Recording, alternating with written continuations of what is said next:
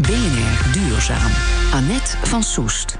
Zogenoemde stroomramen moeten het alternatief vormen voor de bekende zonnepanelen. We hadden het er net al over. Onderzoekers aan de TU Delft die onderzochten de toekomst van deze elektriciteitsopwekkende ramen. Bij mij in de studio Jan-Willem Wiegman, masterstudent aan de TU Delft. Jan-Willem, jij studeerde deze week cum laude af met dit onderzoek. Gefeliciteerd. Dank u wel. En ook in de studio Erik van der Kolk, onderzoeker aan de TU Delft... en tevens de begeleider van Jan-Willem Wiegman tijdens dit onderzoek. Welkom. Goedemorgen. En ook nog steeds natuurlijk duurzaam ondernemer Maurits Groen. Uh, we beginnen uh, bij Erik van der Kolk. Jullie deden onderzoek naar stroomramen. Wat was het aanknopingspunt dat jullie de mogelijkheden van ramen gingen onderzoeken? Uh, nou, het is zo dat er een nieuwe regelgeving is vanuit Europa... om uh, gebouwen, laten we zeggen het algemeen de gebouwde omgeving... Uh, energie-neutraal te maken. En wat is er dan mooier om de ramen die toch al aanwezig zijn in gebouwen... te voorzien van een speciale coating, een zogenaamde luminescerende laag... die een gedeelte van het zonlicht kan absorberen en weer opnieuw uitzenden. En op die manier naar de randen van het raam wordt getransporteerd... waar conventionele zonnecellen dit licht omzetten in stroom. Ja, Jan-Willem, hoe werkt dit nou precies? Luminiserend materiaal. Ja, luminiserend materiaal. te beginnen. Uh, nou, het uh, gaat dus om uh, ramen of panelen. En uh, daar zit een, dus die luminiserende coating op. En die coating die kan een deel of het gehele zonnespectrum... of het licht van de zon dus absorberen.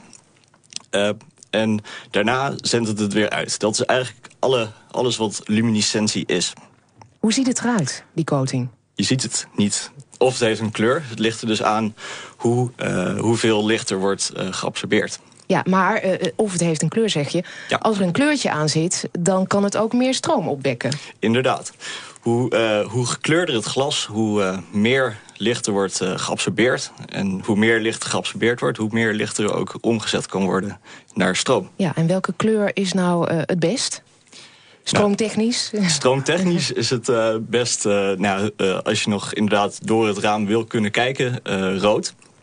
Is perfect voor de wallen dit. Ja, inderdaad. ja. Dus, Amsterdamse ramen.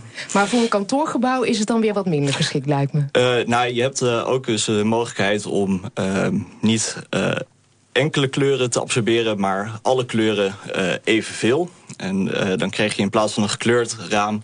krijg je een, uh, nou, een grijs raam. Dus dan heb je niet het uh, effect van een, van een kleur. Maar... Maurits, wat vind je ervan? Ja, ik vind het prachtig, want op het ogenblik zijn ramen natuurlijk helemaal neutraal als het om energie gaat. Het hoogste is zo dat door alle zonlicht wat naar binnen komt... de temperatuur binnen in een gebouw omhoog gaat... waardoor je moet gaan koelen.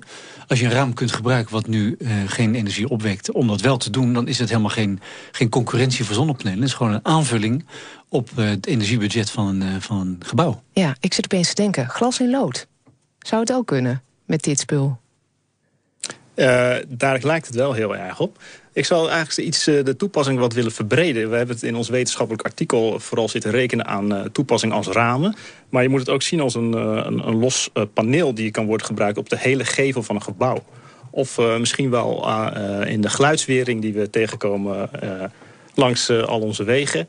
je kan ook bijvoorbeeld denken aan de buitenkant van een, van een garage.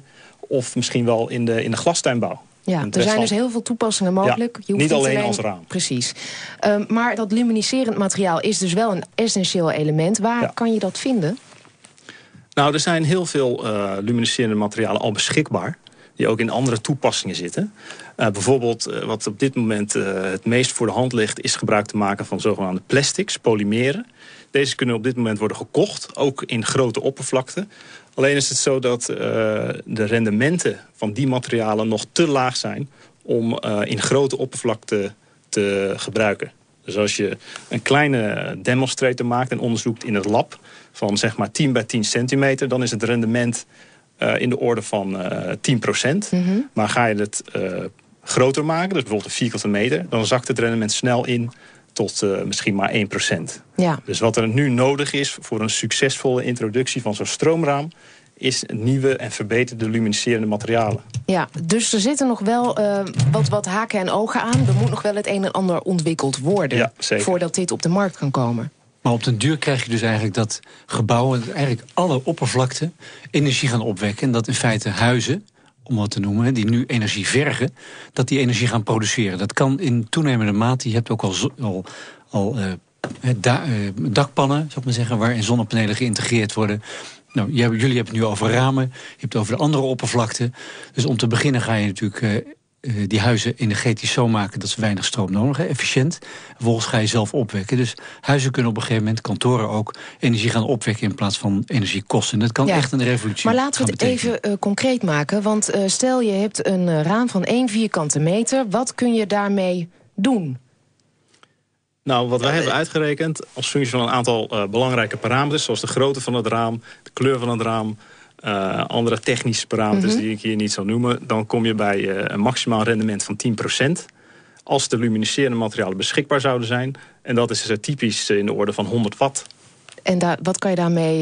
je computer? Of, een computer is typisch iets van 100 watt, ja. Ja, maar ja. het kantoorgebouw heeft al snel uh, nou ja, 50 bij 50 vierkante meter aan een uh, voorgevel. Dus je kan daar uh, toch wel behoorlijke vermogens mee opwekken. Zien jullie dit, Jan-Willem, als alternatief voor zonnepanelen? Of is het meer een toevoeging? Het is zeker meer een toevoeging.